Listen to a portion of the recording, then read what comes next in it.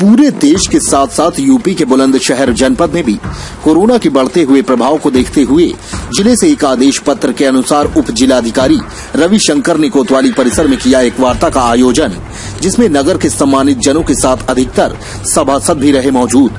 वार्ता में एसडीएम द्वारा बताया गया कि किसी भी संस्था या व्यक्ति द्वारा गरीब परिवारों को किसी भी प्रकार की सामग्री वितरित करने से पूर्व प्रशासन को देनी होगी जानकारी। वितरण का कार्य प्रशासनिक कर्मचारियों द्वारा ही करवाया जाएगा। वितरक या उसका कोई व्यक्ति मौके पर रह सकता है मौजूद। पैकेट या बैग पर नाम प्रिंट करवाने पर नहीं होगी मनाही। मददकर्ता को समय से पूर्व करवाना होगा रजिस्ट्रेशन। वितरण का स्थान, समय और सामग्री का देना होगा पूरा विवरण। इसके अलावा किसी के क्षेत्र में कोई गरीब, कमज़ोर, परिवार मदद पाने से वंचित रहा हो तो दर्ज करवा दें उसका नाम। साथ ही 25 मार्च के बाद किसी भी सभासद के क्षेत्र में कोई भी आया हो बाहर से तो ज़रूर दें प्रशासन को जानकारी।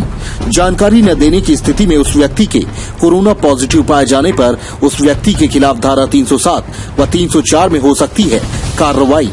साथ ही सभासद के खिलाफ भी होगी कार्रवाई। बुलंदशहर जिला सिकंदराबाद में इस समय हम कोतवाली में स्थित है। यहाँ पर यहाँ के उप जिला अधिकारी रवि रविंद्र सिंह द्वारा एक मीटिंग ली गई है। और वो किस कार्य में, किस वजह से वो मीटिंग ली गई है? आई उन्हीं से बात करते हैं, जानकारी लेते हैं कि वो मीटिंग किस लिए की गई है। इन लोगों से जो बैठक की गई, इसका मुख्य उद्देश्य है लोगों को जागरूक करना। कोई भी व्यक्ति जो 25 तारीख के बाद आया है, वो अपनी जो है पहचान छिपाकर कहीं छिपाना हो, वो अपने आप को आकर जो है प्रशासन सबको बता दे, ताकि जो है ये कोरोना की जो बीमारी है, वो आम जनता में न फैले। इसलिए जो है एक तरह से इनको जागरूक करने के लिए जो है एक की गई थी। साथ ही जो है, जो लोग सामाजिक संगठन है, जो खाद्यान्न वितरण कर रहे हैं, खाद्यान्न वितरण में जो है सोशल डिस्टेंसिंग का पूरा ध्यान रखा जाए, उसकी क्वालिटी का पूरा ध्यान रखा जाए और उन्हीं व्यक्तियों तक वो खाद्यान्न जाए जो व्यक्ति वास्तव में उसके पात्र है। इस दृष्टिकोण को रखते हुए भी ये जो बैठक है, वो महत्वपूर्ण है।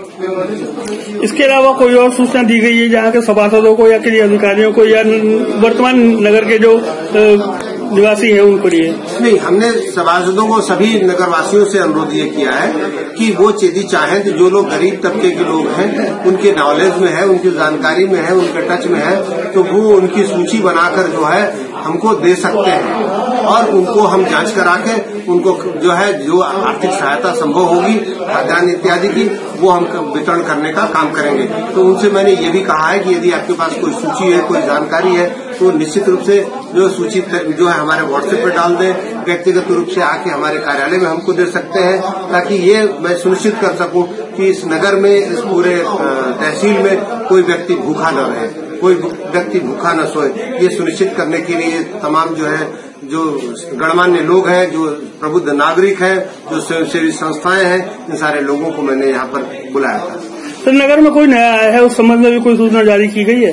जो नया आया है इस संबंध में जो है लगातार प्रचार प्रसार किया है। आपके मीडिया के माध्यम से भी मैं बताना चाहूँगा कि जो लोग भी 25 मार्च या उसके बाद आए हैं वो अपनी पहचान न छुपाएँ वो अपनी पहचान निश्चित रूप से आकर जो है थाने में अथवा तहसील में आकर बता दें कि मैं फला जगह से आया हूँ, ताकि उनकी समुचित जाँच कराई जा सके।